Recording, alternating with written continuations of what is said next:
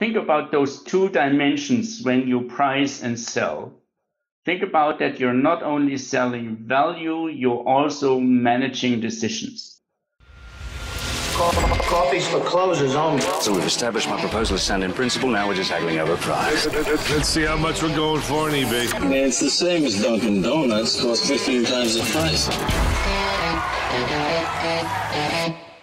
Welcome to Impact Pricing, the podcast where we discuss pricing, value, and the oftentimes relationship between them. I'm Mark Stiving. Today, our guest is Florian Bauer. Here are three things you want to know about Florian before we start. He is a member of the executive board of Vocatus. We're going to learn what they do. He has a PhD in psychology, which makes a ton of sense when you learn that he, number three, specializes in behavioral economics, a topic most of us find fascinating. Welcome, Florian. Hi, Mark. It is great to have you. You got to tell us, how did you get into pricing? Oh, that's a good question. Well, first of all, I started studying psychology and I was never really interested so much in the clinical part. So I was really very early on focusing on decision making. So in the early 19s, when the term behavioral economics was not even coined, I started to do decision experiments. And my master thesis actually was already about a certain pricing application. And so I continued that. And my PhD was about the psychology of price structure. And then after founding Vocatus, um, we are focusing on implementing behavioral pricing in a lot of different companies. Okay, so you've got to tell us what was the finding in the PhD, and you got to make it in English. no problem. I mean, English as in not academic ease, not Yeah. German, right? yeah, yeah, cool. Well, basically, it was about how the price structure. So, if you think about a complex tariff like a telecommunication price model that consists of a basic fee and some usage based fee. So, this is what I would call a price structure that is not only a one off price, how this structure influences how people decide. So, it, it turns out that no matter what, even if the effective price people pay at the end of a contract period, at the end of the day, is the same, the structure, how you structure these little elements, makes people decide for or against a certain offer. So, in fact, the structure has as much importance for people spending a certain amount of money as the price level itself. So give us an example of the structure. A structure would be, for example, a simple way is buy one, get one for free. That's already a price structure that goes beyond a certain price for a certain product. Or a price structure would be a cash back, for example. So why is cashback working? Why do, don't you just lower the price? There's a lot of psychology involved that people prefer the cashback over a lower price at the end. And so there's margin and conversion rate to be optimized by understanding the psychologic of people dealing with different and more or less complex price structures. Okay, so tell us why does cash back work better than just lowering the price? Well, because you can actually trace that back to prospect theory, the model with which Danny Kahneman won the Nobel Prize in 2002. That basically is saying that if you have a certain pain, which is associated with spending money, so this pain has a diminishing marginal value, so to say. So the more you spend, the higher gets the pain, but if it's already on a high level, adding 50 euros or $50 doesn't make that much of a difference anymore. If you are on 20,000 already, the first $50 hurt a lot, but the 50 you add when you are at the price of $20,000, it doesn't, don't hurt so much anymore. So it's a diminishing pain, more or less. But on the other hand, if you gain something like this $50, that you get as a cashback, they feel much better than the $50 that the last 51 you pay. So if you buy a car for 20,000 and $50, and you get a cashback of $50, that feels better than just paying 20,000 because this 50 at the end, which you pay on top of the 20, do not hurt so much as the 50 you get as cash bring you pleasure. That, in more that makes all the sense in the world. Now let me push back just a little bit, if you don't mind. Yeah. What's the difference between a discount? So I walk into the car dealership, it's 20,050 yeah. fifty, and they say, "Hey, we're going to knock fifty dollars off for you." Yeah. Or actually buying the car for twenty thousand fifty, and then later I get fifty dollars cash back. Oh, that's a huge difference because the price a product has is just something made up, right? The price is also a signal of the quality and the value of the product. So in the moment you give discount, in the very same moment you devaluate your product. So if you are able to give discounts like we see on Black Friday or whatever, discount without basically any substantial reason, then people have no other way than rationalizing this by saying probably the product is not worth the original price. So it makes a lot of sense to stick to the list price or the original price and try to incentivize people on other ways than directly discounting it from the price of the product. Because the price of the product is always a signal of value of the product. Okay, I'm with you. By the way, I'm having a lot of fun pushing back to try to understand this better. no, no, um, go ahead. In the world of, so, so what you're saying to me is that I've got a buyer who looks at a discount that I'm given on the spot mm-hmm. differently than I consider getting cash back later. So, in other words, when it comes to the value of the product, I'm not going to diminish my perception of the value of the product. Right. Right. And yet, I still use the fact that I'm going to get $50 in a month in a check yeah. as part of my decision process. That feels like a disconnect to me. It feels like, yet it is mentally disconnected, and that's why it works. So the mental accounting of the customer is he pays that price, a little bit higher price, but one month later he gets $50 as a cashback, which feels nice. It does, but we expected him to use that 50. So, okay, so now you're at the time of purchase. Talk me through the, the buyer for a second. We're at the time of purchase. It's 20,050, but I'm going to get cash back for $50. Am I anticipating the pleasure I'm going to get a month from now when I get my $50 check? You probably somehow mingle that into your decision, definitely. As a matter of fact, it doesn't make a big difference to you whether you pay 20,000 or 20,050. But having this a little icing on the cake makes you probably or can potentially make you feel more decided about your choice and say, okay, let's do this. And actually, it would not be such an interesting offer if you would just say, okay, here's the car, $20,000 because you would also already be tempted to say, oh, okay, let's negotiate.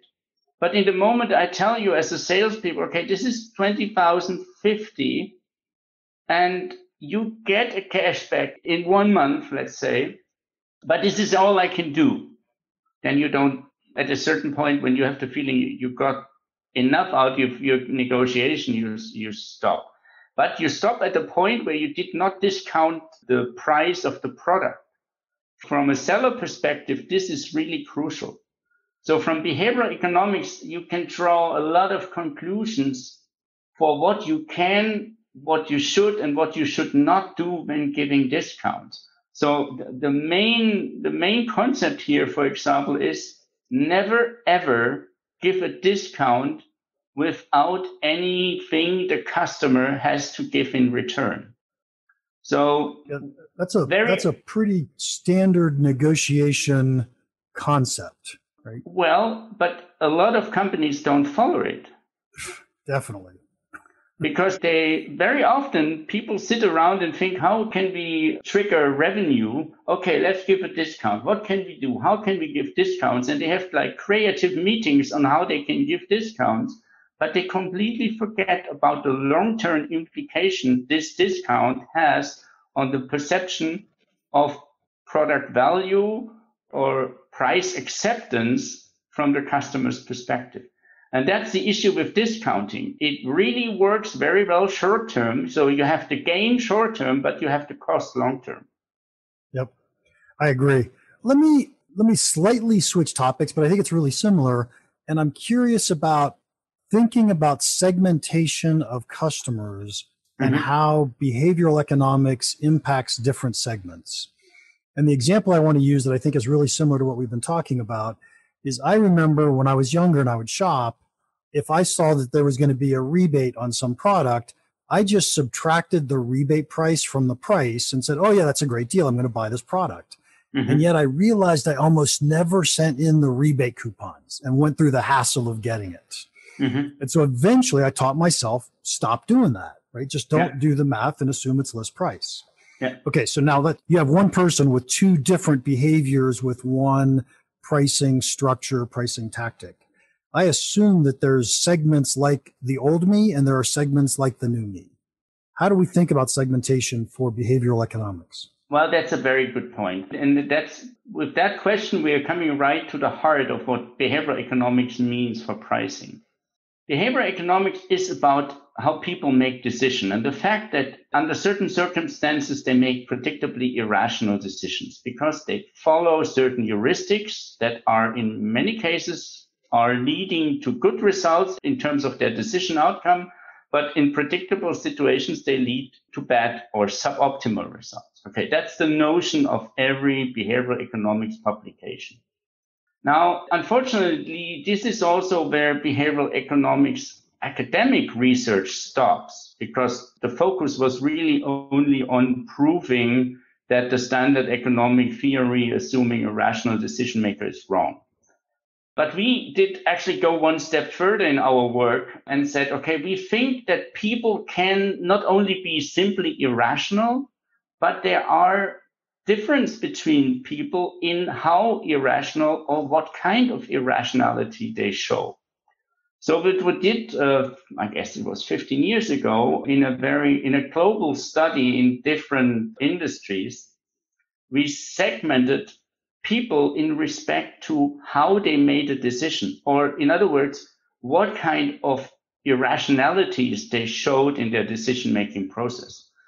And we found five types, ranging from the bargain hunter, probably the earlier you, the risk avoider, the price acceptor, the routine buyer, and the indifferent buyer. And this segmentation did actually hold true in any situation in any industry, B2C or B2B. And the interesting part about this is that this is the only segmentation that is referring to how people make decisions, whereas the normal marketing segmentations are referring to what people want. So normally in marketing, we segment people in respect to their needs or what they want from a product. But in fact, for pricing and sales, where the target is to influence decisions, purchase decisions, it makes a lot of sense if there are different decision types to understand how they decide. So actually what we say from our perspective, behavioral pricing and sales is if you want to price or sell something, you have to think in two dimensions. You have to think in what people want. That's the traditional value based approach. And you have to think in the dimension, how do they decide? Because if I want to sell somebody something, I need to know what he wants or she wants. And I need to adapt my sales approach and my pricing model potentially to how he decides. Because a bargain hunter he needs a discount. Otherwise, he doesn't buy it because his decision making process is I want to have something others don't get. I want to have something special. I need a gimmick. I need a discount whatsoever. Very often, those guys buy because of the price rather than although the product has a price. So we, we have to cater for this very specific psychologic of their decision making process in pricing and in sales. And that's actually the implication from my perspective behavioral economics brings to the table as it sheds light on this second dimension that is very often forgotten in pricing and sales because we think we basically price for product features and the value they generate. But in the very moment people buy, a lot of other things play a very important role. And that those have to do with how they decide. Let's talk about your career. You have one boss, but you have to work with many different departments. You have great ideas, but you can't seem to get them adopted. Face it, you want to earn a promotion. The solution could be the insider program at championsofvalue.com. For only $100 a month, you'll have access to all of our online courses, you'll have access to me through office hours, and you'll become part of a network of peers helping each other out as well. Sure, you'll learn more about pricing, but what you will really learn is pricing leadership. What does it take? How do you do it? You won't get promoted just doing your job. Join us to learn how to become influential. Isn't it worth $100 a month to work towards your promotion? Heck, if your company has a training budget, you can probably access that. Once you've internalized these concepts around value, you will become unique, respected, and promotable. Come join us at insider.championsofvalue.com. a long, long time ago, back when I was a professor, I remember doing a research project. In fact, my dissertation was on 99 cents and why do yeah. why does it work and does it work? Yeah. And and what I found fascinating was one of the experiments we ran was a cost of thinking experiment. Mm-hmm. How hard is it to subtract two numbers? Yeah. And what you found is that people that are very numerically literate are much less likely to drop the nine, and people who are less numerically literate are more likely to use a heuristic and just use the left hand digits. Yeah. And so it's pretty fascinating that different people behave differently when it comes to these irrationalities. Yeah. And even more interesting, we use those types not so much in a trade way. So we those script types are not traits you have. You are not always a bargain hunter. I'm a bargain hunter maybe when it comes to selecting my DSL provider or my telephone provider. I'm not a bargain hunter when it comes to buying cars, for example. Maybe I'm a price acceptor there or for booking a holiday. Maybe I'm a risk avoider there. So what is really important about this concept is that what we have been calling the hybrid customer is nothing else than the statement that people can follow different kind of typologies in decision making in different industries. That doesn't mean what we found is that once you are a bargain hunter in one industry for one product, that really stays very stable. But that has no indication whatsoever whether you are a bargain hunter in a totally different industry. Yeah, that makes sense. And and that's totally okay because you're in one industry. You don't have yeah. to to classify right. an individual as a bargain hunter in every industry. You just need to know yeah. what they are in yours. Absolutely. That's the point. So nice. I got two uh, really big questions or topics I want to bring up with you, Florian, about BE. First one, I love asking this question because I don't know how I feel about it, mm-hmm. but it feels to me like behavioral economics has the ability to trick customers. Oh, and so it almost feels unethical, or you could mm-hmm. describe it as unethical. So yeah. how do you how do you square that in your own mind? Yeah, that's a good point. And that's a very often asked question, really. It is in my top five list. no, I totally agree. That's an issue you can see in behavioral economics. And I think it's an issue that's very often debated when you apply behavioral economics to redesigning decisions about healthcare, financial planning, or whatsoever. But my perspective on this is very abstractly speaking, for me, the purpose of marketing, pricing, and sales is to influence decisions. So there is no reason to have a marketing campaign or a marketing team if you would not have the idea I can influence my customer's decision in my favor. So you could also say manipulate, but people hate this word, although it's more to the point. Yes. So marketing is there to manipulate decisions. Pricing is there because a company wants to take as much consumer rent as possible. Okay. It's very much, I want to have the money you would be willing to give to me as much as I can. So that is, that's the target of pricing at the end of the day. Yeah. So, so, so I'm going to push back a second, Florian. Yeah. I could describe, by the way, I'm not disagreeing that marketing can't be used for, uh, for manipulation, but I could describe marketing as I'm making people aware of the value of my product and I teach them about the value of my product because I want to help them make the best decision for themselves. And as they yeah. understand the value of my product, they're willing to pay me more. And so I price in order to capture all that. And so in my base world of value based pricing, it's all about teaching value, understanding how our customers perceive value, pricing for okay. value. And then we get into yeah, but I can trick you into thinking my product is more valuable than it really is. Okay, let, let me give you an example and discuss with this example. Okay. We did a project for an insurance company. They are selling nursery care insurances in one part of their portfolio. So basically, when you get older and you, you need nursery care, they pay for it. Okay.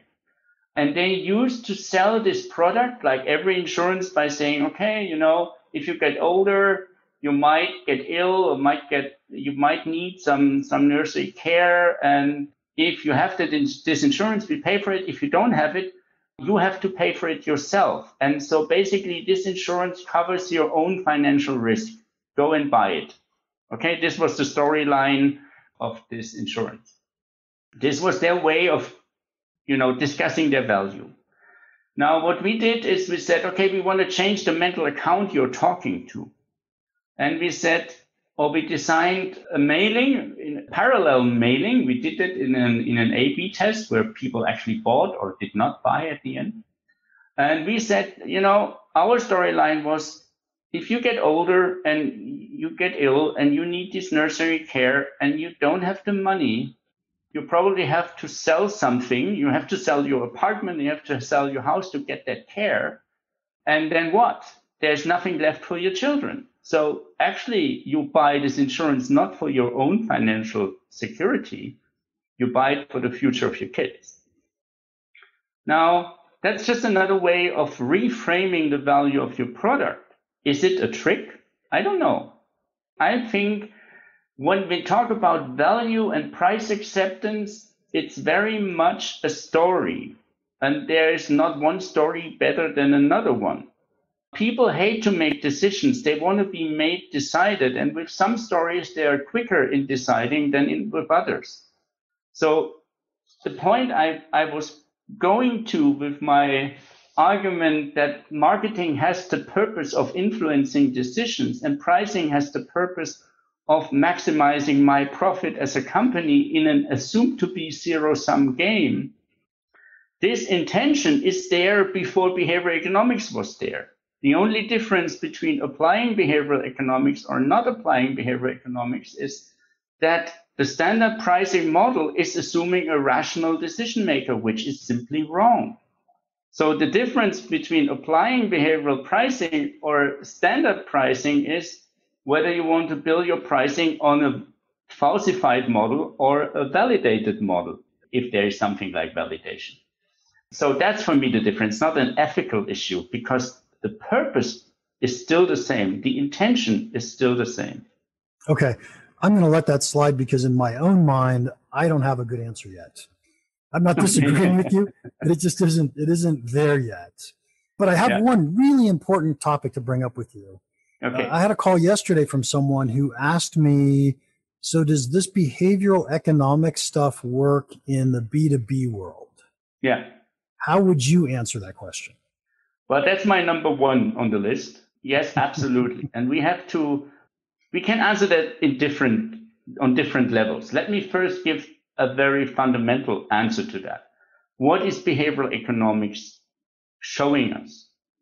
What are these effects all about? Where do they come from? Why do people make mistakes when they make decisions? Why are they predictable? They are predictable because our human body is shaped by evolution our cognitive apparatus, our decision making apparatus is shaped by evolution. And you can trace back a lot of these behavioral economic mistakes people make back to an evolutionary value they have. So, for example, if people are loss averse, that has an evolutionary value. If people perceive things relative rather than absolute, if they are more sensitive to changes than to status quo, all this has a evolutionary value in itself. So our decision making apparatus, like our vision, like our hearing, is shaped by evolution. So it does not go away. We will behave that way in the future. And we will always behave that way because this is how we are.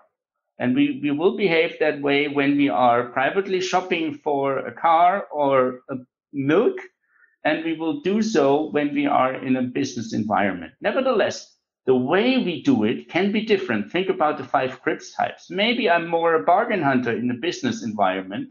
Maybe I'm more a price acceptor in the business environment, other than in the private environment. But nevertheless, none of them is really rational.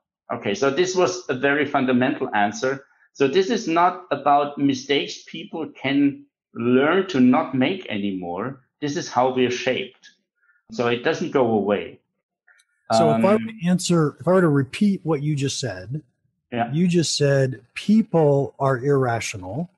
Decisions in companies are made by people. Therefore, yeah. those decisions are likely irrational. That's a very good summary. Yeah. And okay. ira- I, I actually hate this. It's very, it's very popular, this irrational, but you can have a lot of discussions about it. So for me, it's really important what we learn from behavioral economics is that people apply certain heuristics to simplify complex decisions. And yes. those heuristics, like any evolutionary outcome, they very often are well leading to good results, but in, under some circumstances, they lead to predictable mistakes. That is the essence. It's not just saying people are always irrational. So there's yeah, I think it's I think it's more accurate to say people are less than perfectly rational. Yeah, probably that's much better. It's very a catchy term that's often used, but it's sometimes if you dig a little bit deeper what it means, it's a bit misleading. Yeah. Absolutely. And it, for me, it's very important that it's predictable because if it would not be predictable, you could not use it in any kind of application. So it needs to be not simply mistakes people make or errors, there is a certain logic to that. Now I have a more pragmatic answer to this, to your question, why it is also in B2B.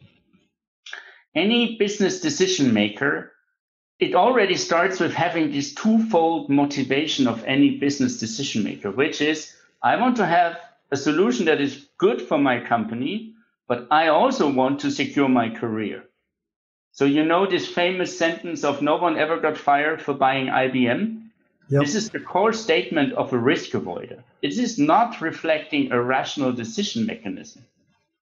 And just because of the fact that everybody making decisions in a company have the tendency to follow or have these two motivations in mind, that there is a high risk of some irrationality involved. Now, the next step is a lot of decisions in companies are made by groups of people. And we know from a lot of research that groups do not necessarily tend to be more rational than individuals. So there are a lot of reasons for that. And I think it's a good heuristic for a company to not start and assume every customer is rational, but maybe shed a little bit more light also on those who are less rational because behind this predictably irrational behavior, there's nothing else than additional margin or conversion rate. That's why we are talking about. Yeah, I often get the feeling that companies put in place things like buying committees or RFP processes mm-hmm. because they're trying to minimize, in part, irrationality or bad decisions yeah. by individuals. Yeah. yeah you know, very often I have, that's absolutely true. It doesn't mean that it will end up that way, but yes. yeah, that's the intention. And I often have people sitting or, or clients asking me, you know, I'm in my industry, we have a price war. And I don't think that this behavioral economics works here because they are really only focused on price and, and everybody is under pressure. So when somebody tells me like that or asks me like something like that, I say, okay, are you the cost leader in your industry? then most likely they are not. And I'm saying, so why aren't you out of business? Because rationally speaking, you should be out of business. If you ask me, the only reason why you are still in business is that you implicitly somehow apply behavioral economics somewhere on the way. Otherwise, there would be no reason why you're there. All right, we'll leave it at that, Florian, but I have to wrap it up with the final question. Yeah. What's one piece of pricing advice that you would give our listeners that you think could have a big impact on their business? It's really about think about those two dimensions when you price and sell. Think about that you're not only selling value, you're also managing decisions. If you keep that in mind when you design your pricing model, you also avoid the traditional clash between pricing and sales because you're also able to tell your salespeople how they can actually execute your pricing strategy to make the customers actually follow the decisions or the directions you want them to. Nice, nice. Florian, I have had such a great time talking and listening to you. If anybody wants to contact you, how can they do that? Oh, by mail. It's florian.bauer at vocatus.de. Maybe you can write that somewhere in the, uh, announcement of the, the podcast or something. It's very simple. It'll, or via it'll be in the show notes. That's when you said by mail, I thought you were going to give your address and let people send you a letter. No, no, no, email. Sorry. all right. Episode 103, all finished. To our listeners, would you please, please, please leave us a review? These are so valuable to us. Alex Costa said, amazing pricing approach. Mark Stiving on impact pricing has an amazing approach on pricing. He brings us great cases and experiences to setting prices, adding value. I highly recommend it. Thank you, Alex. And don't forget, we're working on our new website. So go check it out, impactpricing.com. It should have a feed of all of our content on the main page. I'm just excited about it. So let me know what you think. If you have any questions or comments about the podcast or about pricing in general, feel free to email me, mark at impactpricing.com. Now, go make an impact